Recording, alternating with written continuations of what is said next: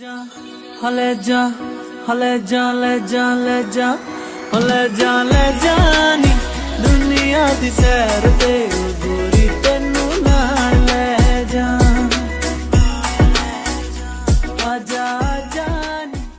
Hi everybody, welcome to my YouTube channel. In today's video, I will teach you how to create this wedding guest makeup look which is slightly on the heavier side and I really hope you guys will find this video useful. So without any further ado, let's get started. So we will begin with the eye makeup first. I am using this heavy duty concealer to conceal this entire portion of my eye with a lot of focus on the inner eye because if you leave this portion, it looks left out and it looks very black uh, in comparison to the other eye portion. So it's very important that you you know cover this area as well because this is the portion wherein you apply the highlight right? Then i'll take this color from the kiko milano smart eyeshadow palette. Um, i am not a huge fan of this palette but because this color matched my dress i'm picking this one out.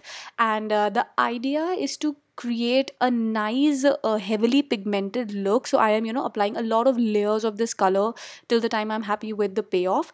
Then uh, taking the black color i will focus it only on the outer v. I am not trying to create a smoky eye or anything like that. I'm just trying to create a transition because green and black you know if you observe these two colors they are uh, very s- of the similar color palette. So i'm just trying to create a little bit of uh, transition over here and uh, making sure that it is well blended because that is very important. And then taking the same green color again from the kiko palette i'll just uh, uh, you know reapply it because i think you know the color kind of rubbed off a little.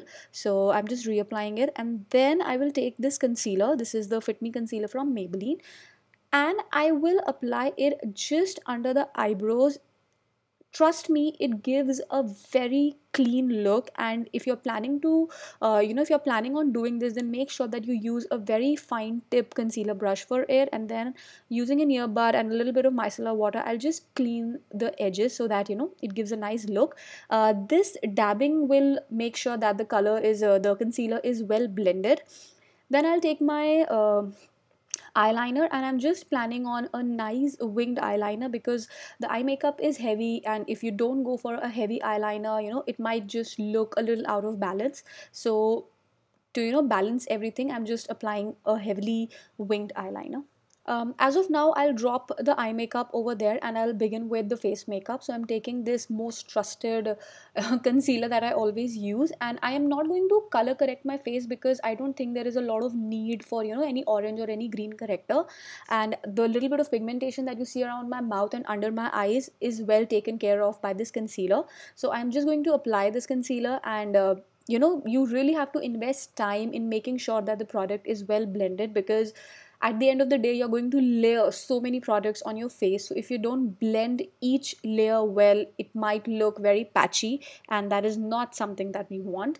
Now for a little bit of wedding glow i'm taking this strobe cream from mac my favorite and i'll just roughly apply it all over my face making sure that you know it's evenly uh, distributed. And then taking my stippling brush i will uh, properly you know uh, make sure that it is applied evenly all over the face you have to be like quite thorough with it and then we'll go over with the foundation which is going to be my mac water weight foundation. Um, you can pick any foundation that suits uh, you and because it is the wedding season you just have to wear a long uh, wearing foundation.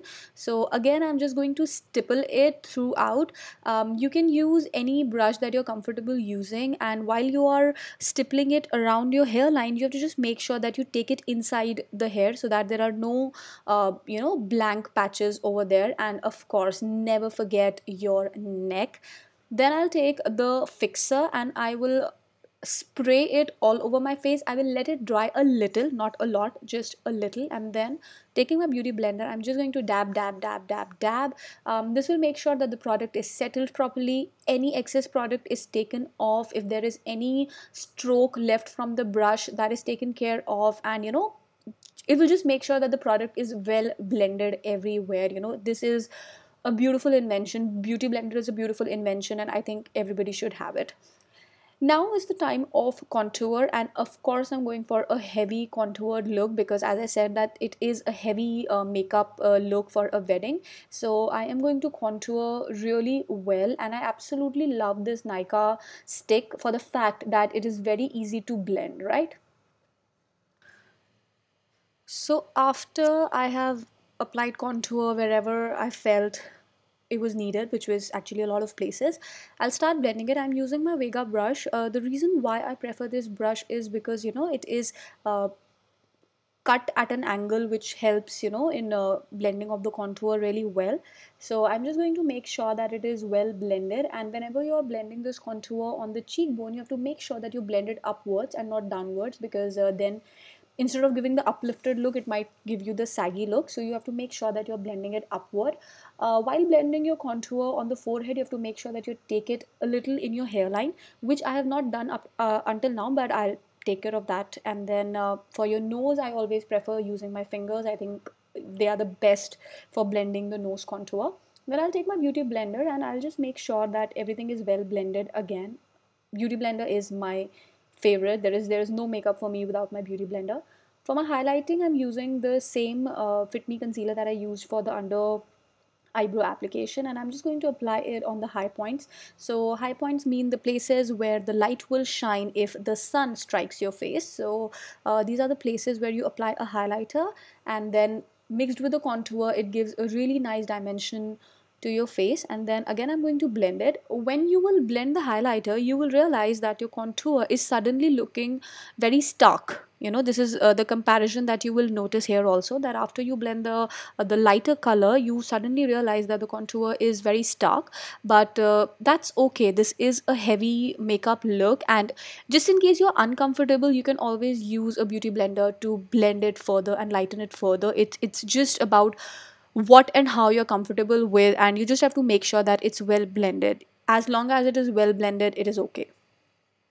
Now for the second stage of the wedding glow i'll take this illuminating stick and i will apply this highlighter uh, again on the high points of my face. And uh, I'll just slightly dab it with my fingers so that it is well blended and there is no sharp line. After uh, this step, I will take the green color again and I will apply it below my waterline uh, it will give a nice smudgy effect and i'm making sure that you know i do not take it till the end. You know it's just like applied halfway through. Then for my kajal i'm taking this gel liner from maybelline. There are two reasons for it. Number one i want my kajal to be very sharp so that it can stand in contrast with the smudged eyeshadow. And secondly i want it to be waterproof and something that does not bleeds and uh, Maybelline is the best choice for that. Then taking this lighter color, I'll just highlight the inside of the eye so that it gives it a nice wide open effect. Now coming to the eyebrows, I'm using this combination of uh, the microfine pencil and the eyebrow mascara to groom my eyebrows.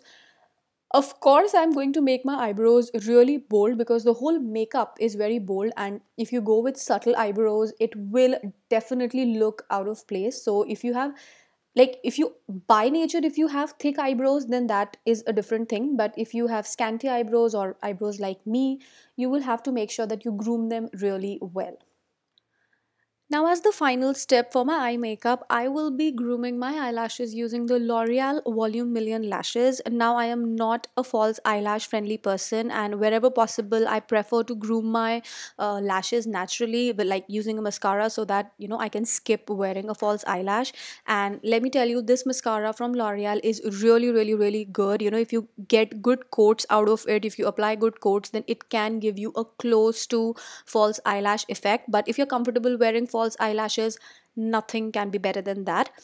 For me i'm just going to stick with my mascara. Coming to the blush i'm using the Nykaa cheeky glow. I'm using the lighter pink color because i don't want a lot of color on my cheeks. Although i'm keeping the color of the blush very light but over here it is very important to see the direction in which i'm applying the blush. I'm starting it at the apple of the cheek and i'm taking it upwards and blending it on my hairline I am just applying it the way I have applied the contour just above it and this way will make sure that the cheekbones really stand out and you know it this is the kind of blushing technique that helps your face look contour. And then for my final step of highlighting i'm going again with the uh, Nykaa glitterati 02 palette. And i'm just applying the highlighter with my fan brush. And uh, don't miss the under eye uh, the under eyebrow portion because that you know it, it really sparkles when especially on the pictures and all.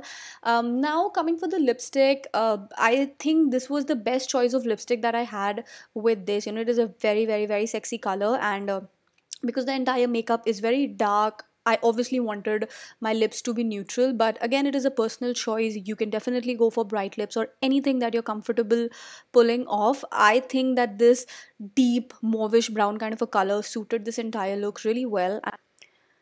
And this is the final look. I've done my hair, I've worn my jewelry, and this is how the entire look has turned out to be.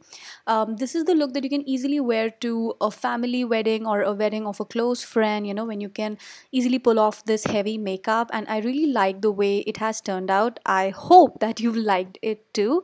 Um, please subscribe to my channel if you haven't up till now. And um, I love making makeup videos for you all, and your feedback matters the most. So make sure that you you write your feedback in the comment section below. I will see you again with a new video. Until then, bye bye, take care, and lots and lots of love.